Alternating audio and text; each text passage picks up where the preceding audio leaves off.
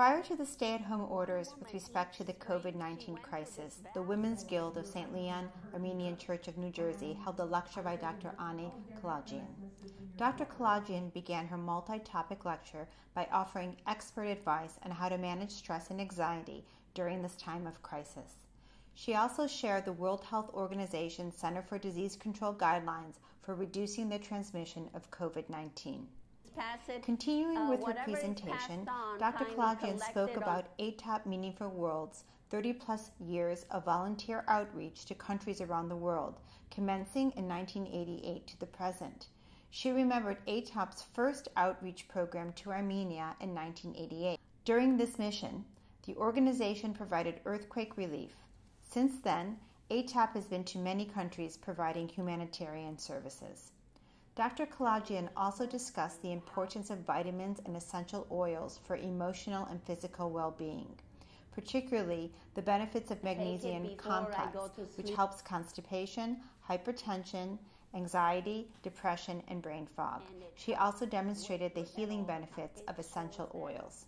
Sage is good for you to have in the house, especially now. It kills 94% of all bacteria in your house and around you that you carry from public areas. I also gave you some rosemary. Rosemary is excellent to protect you from bacteria, colds, and it's especially good for the lungs. If you are coughing a lot, you have like incessant chronic cough, this is excellent rosemary. You put it, uh, mix it with some oil or Nivea and put it in your chest. It's excellent. It really opens up your bronchioles.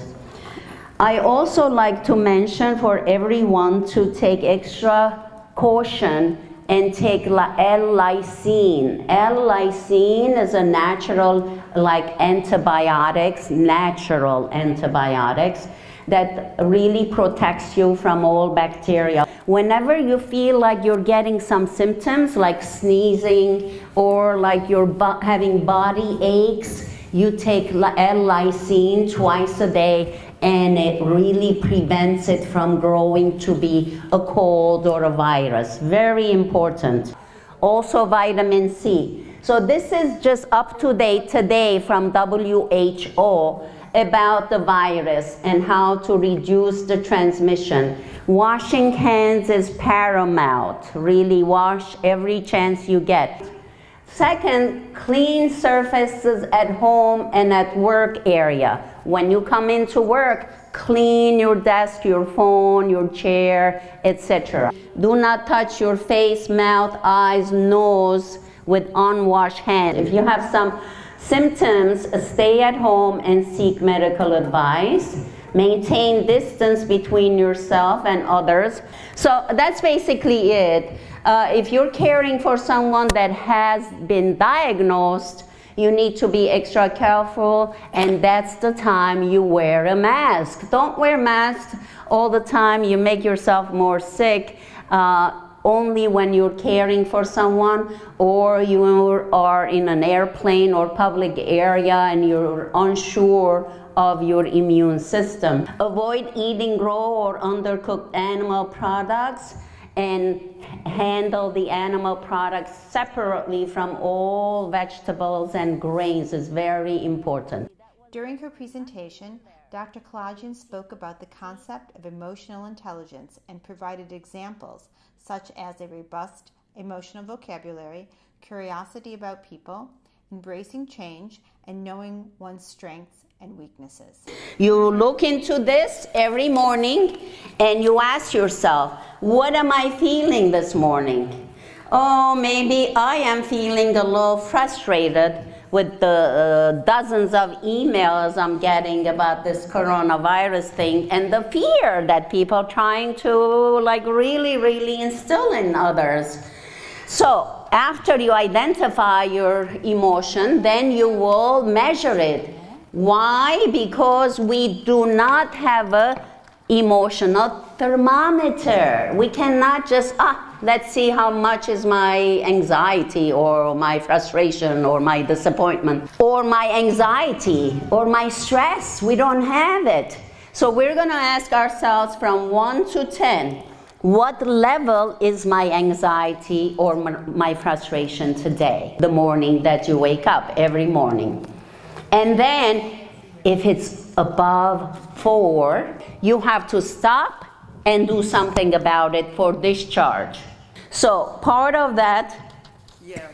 Yell. That's great. Yes, you can yell, scream, and cry, and and uh, you can then talk with somebody if there is someone in the house who is empathic and non judgmental. That may be hard to find. uh, especially in our families, we judge, oh, don't cry, or, you know, imagine if somebody is vomiting from poisonous stuff. Does anyone say don't vomit?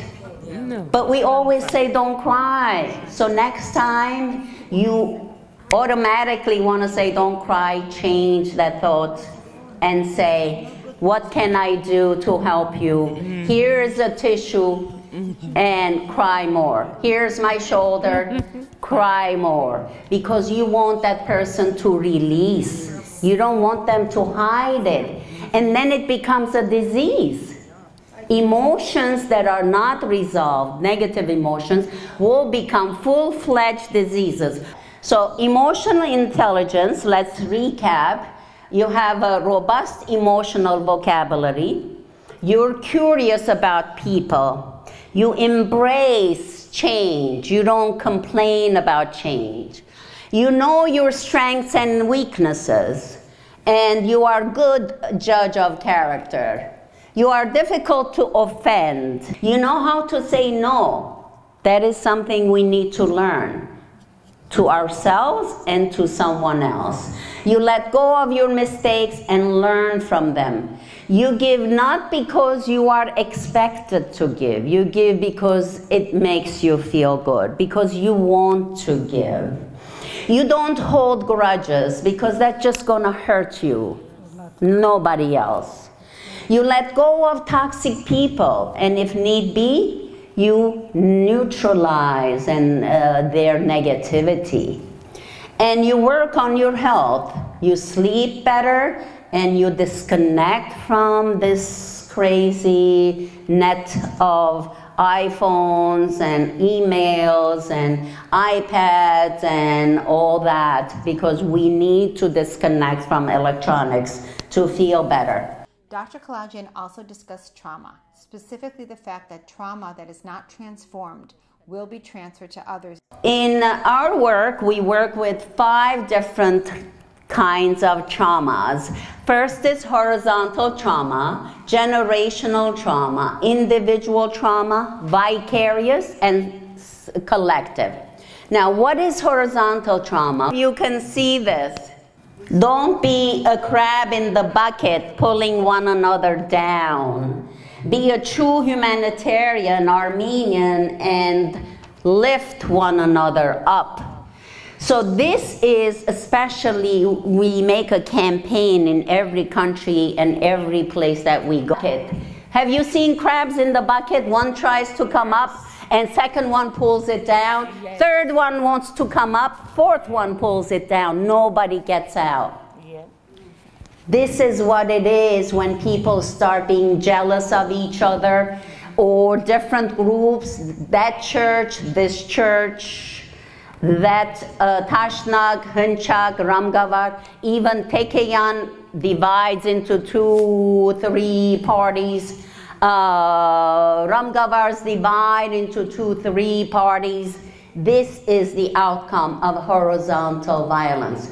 Uh, individual trauma, it's every, whatever you individually experience. Vicarious trauma is when you hear other people as a therapist, as a medical doctor, as a psychologist, as a priest. You hear people's traumas and problems and vicariously you get impacted. Or collective, remember 9 11? Even if you didn't have a loved one there, we all were suffering. That's a collective trauma. So let's move on. So we have worked in uh, uh, 48 countries in Middle East, Caribbean, Africa, Europe, Asia, North America, and South America. Dr. Kalayjian continued her lecture with her signature seven step integrative healing model. Some of the points included assessing one's level of distress, expressing and releasing negative emotions, and seeking empathy validation. So, the first one, step one, is about your assessment, assessing your feeling. First, measuring, and then expressing. Under the expression, which is uh, release, which is number two, we have the morning pages, which is in the morning after you identify your feeling and you measure it. You then take a blank page and just write discharge, whatever you're feeling. Just let it go. Journaling you can do as well, talking about how was your day, what you learned from your day, how you felt about things, talking with empathic family and friends, seeking professional assistance. So that's getting mental health checkups, working on preventive methods. Step three is empathy and validation. Distracting people and saying, forget about that, let's go uh, uh, have something to eat or, or just, you don't need to worry about that. God is taking care of everything. These are generalized statements is not going to help the individual. The goal is to let them discharge and you support them. Just hold their hands or just hold the therapeutic environment and just encourage them and let them discharge. We're going to step four. So from one, step one to step four, we still are a victim. We still are um, having emotions uh, that are sad or, or frustrating or disappointing or hurtful. But when we come to step four, it's like we come out of the ashes, we come out of the ashes, and like a phoenix, we rise through the ashes by learning something new, a new lesson, and then integrating that into our life, whatever that lesson is. So we cannot change others, we can only change ourselves, and that we have difficulties as well. Mistakes are not judgments, they are opportunities to learn and grow. And meaning making is the freedom we feel after a traumatic event because after you lose everything, it's what the sense you got out of that that the enemy cannot change. So don't let that, you know, interfere uh, with your positive meaning making. Uh, life events, no matter how challenging, are only 10% 90% is our attitude, what we, how we respond to what's happening. That is our choice. Nobody can take that away from us. Step five is gathering information because information is power, and now we have to be vigilant because we get so many information. We need to select which one is consistent with our philosophy, with our way of living. So, step six is about connecting with Mother Nature and using the different gifts that God has created in the Mother Earth, such as trees. You know that almond trees or oak trees are wonderful to sit under when, of course, they uh, are back in bloom because it relieves stress and it also decreases your blood pressure. Um, instead of cutting flowers or, uh, or giving cut flowers as gifts, think about giving plants with the soil so the person can continue cultivating it. Be mindful of your carbon footprint.